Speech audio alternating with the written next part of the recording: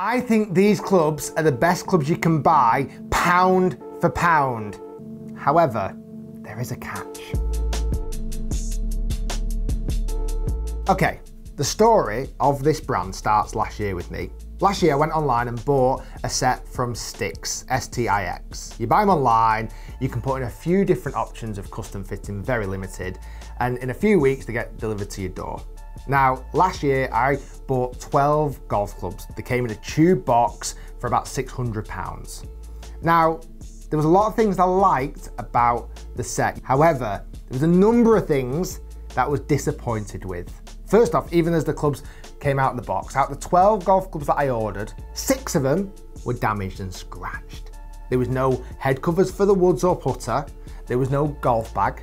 There was massive gaps in the wedge makeup from a pitching wedge to a sand wedge, with massive, huge holes in distances. And also the putter, even though it looked quite nice, felt very weird. The weighting on it was completely not right. However, last year's set did also feature some massive positives. First off, the performance. I mean, overall, they were very, very good. Like, I didn't have much downside for the performance whatsoever. And the driver in particular, in fact, it's what led to the title of last year's video, was phenomenal. I don't GCQuad, it was going a mile. Really impressed with that. So that's last year's set out of the way. We're now going to talk about this year's set, the new set from Stix. And I've got a funny feeling Stix might have listened to the reviews because they've made some changes that I definitely called out on last time. Let's talk about first off the club options. You can actually now buy 14 golf clubs, a full set of golf clubs, including more specialised wedges, a gap wedge, a sand wedge, a lob wedge. Brilliant. So once I saw that online, I thought, yeah, we've got to order a new set and let's review them because if they're as good as last year, I'll be really impressed. When they arrived, the first thing I wanted to inspect was the quality of the golf clubs. Remember last time they were scratched. This time, very, very impressed. Not a single scratch mark on the golf clubs. They almost double bubble wrap the heads to make sure there was no marks at all. So big positive there. So as I started to unbox everything, looking through the golf clubs, I also wanted to have a look at the golf bag because this again was new this year. It's a stand bag, it's grey, black, a few little red features on the zip, and overall, quite nice. Like not my favourite bag in the world, but does a job and actually looks quite cool and does match the set. Happy with that. However, even though last year they had no head covers, this year they've got head covers. Um, I'm not sure if they've just tried to cut some corners with these because the head covers for the woods and the putter were pretty shocking. I mean, they're just, I've got one here. It's just like a, a flimsy oven glove thing. It's not going to protect a golf club very much. And even the putter head cover, as much as it's got a magnet on it, there was a couple of times out on the golf course where it actually fell off the putter. Ah, it's a shame. Not quite got that right yet. So the first thing I wanted to do was test the putter.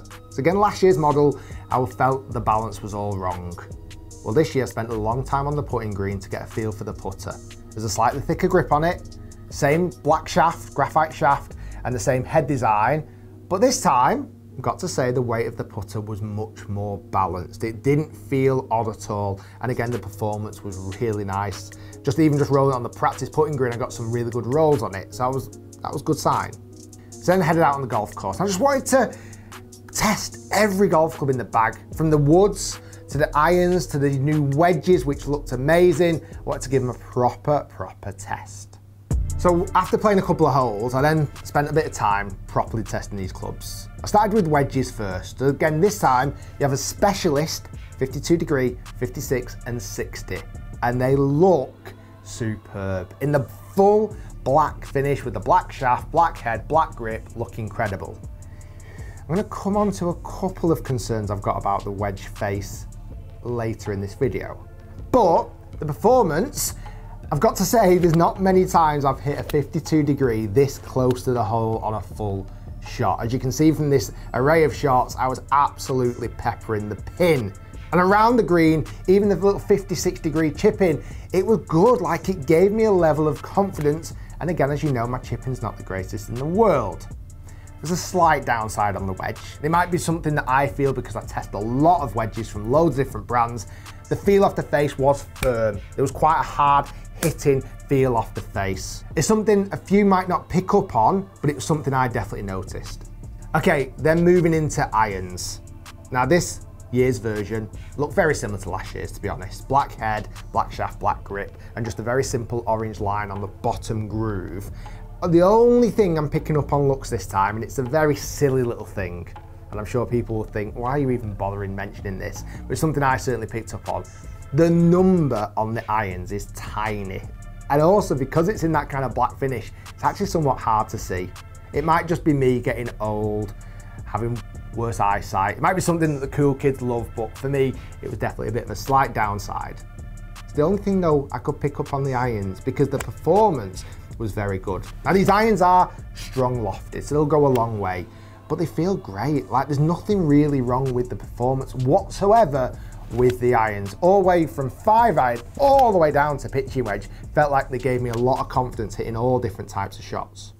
So then was the time to unveil the woods from those horrible head covers. I had a four hybrid, a five fairway wood, a three fairway wood, and I'll come onto the driver a little bit later. For me, the performance of the woods were good. I hit some really nice shots into this kind of short par four, and the flight was really good. They feel good. If I've got a critique at all, the face is a little bit closed, they aim a little, tiny bit left, but that is it. Apart from that, really nice shallow face, really good footprint behind the ball, and good solid flights of the shots. I was actually really happy with the woods.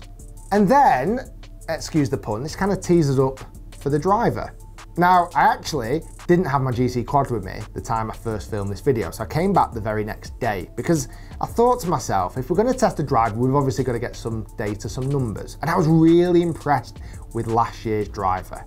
Now, in that time frame as well, when I was at home, I thought, you know what?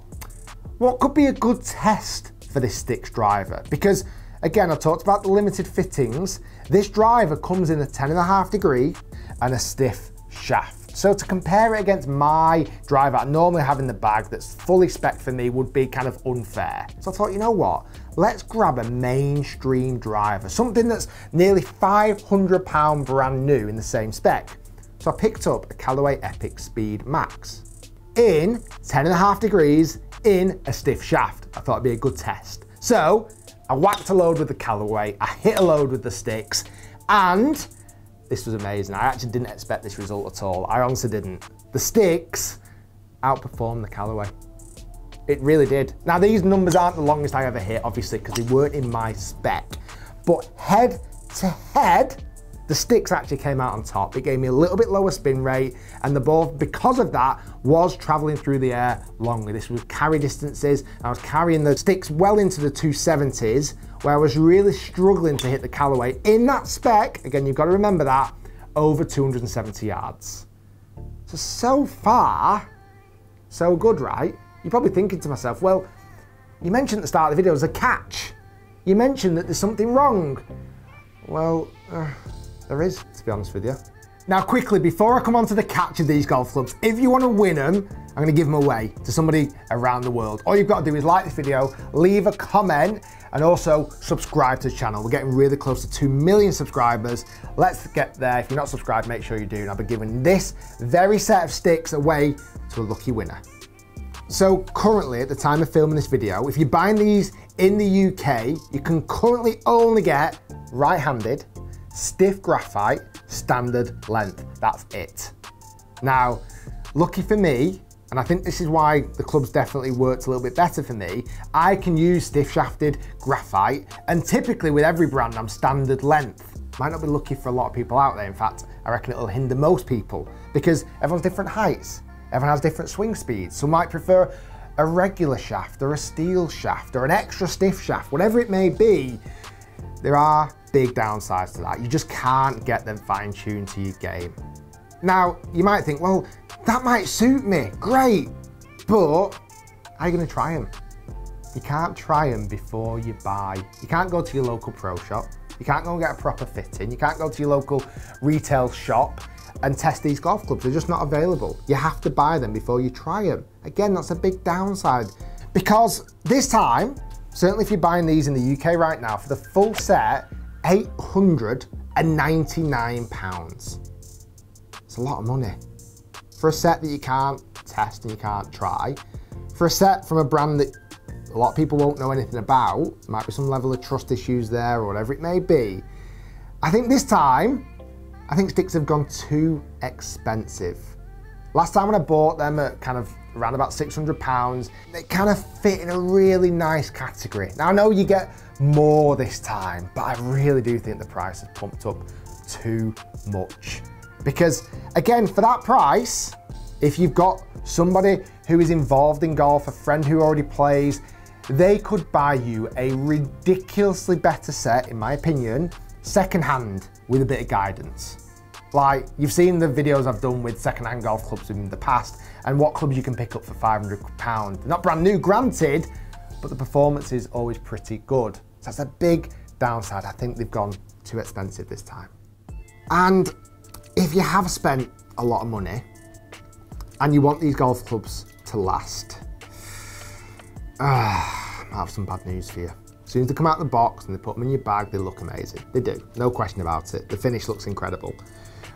However, I'm not sure how long that's gonna last. Now, there's a line on the website that mentions about this new black finish about it. It's not gonna scratch. Well, I did a little durability test. I grabbed the 60 degree lob wedge and I've not hit it at all yet until I did this test. It was brand new and I hit 10 shots out of a bunker, just a normal bunker. I saw big wear and tear, certainly on the face. There were some real bad scratch marks straight away. Now granted, that's not gonna affect performance, it's not, it's just aesthetics. But over time, that's gonna annoy people and frustrate people. I know it would me. I mean, it'd be a bit like buying a brand new iPhone, dropping it the first week and having a crack straight down the middle of the screen. You know it's not gonna affect performance of the phone, but it's bloody frustrating. You've spent a lot of money and now the thing, the product, the phone, the golf club is damaged. Oh, that'd be a nightmare. Now going back to that bold statement I started the video with, I think these are the best pound for pound golf clubs you can buy that are brand new. But there are a number of negatives you definitely need to consider. We'll see you next time.